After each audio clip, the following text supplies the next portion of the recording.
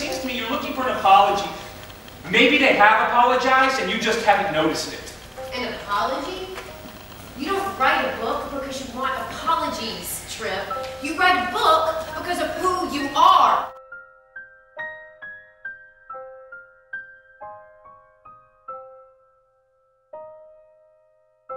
A chemical reaction happens when two people get together.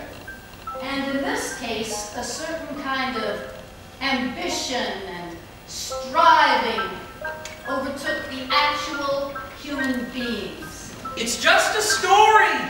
A story that you have told yourself and want to share for fame and money. Oh, and- don't say I'm doing this for the money, okay? You know I have no interest in money. Publish it in a few years. Wait, that's all. Just wait until we're gone.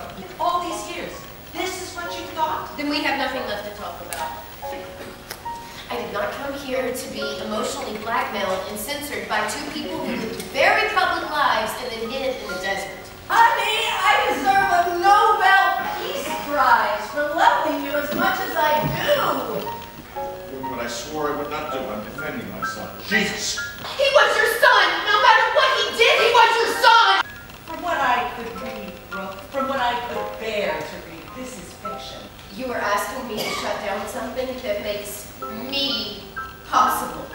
I swear to you I love you, but I would rather live alone than have one more second of this! You think being depressive makes you special? Being depressed makes you banal, in your case, hard, not easy to be with.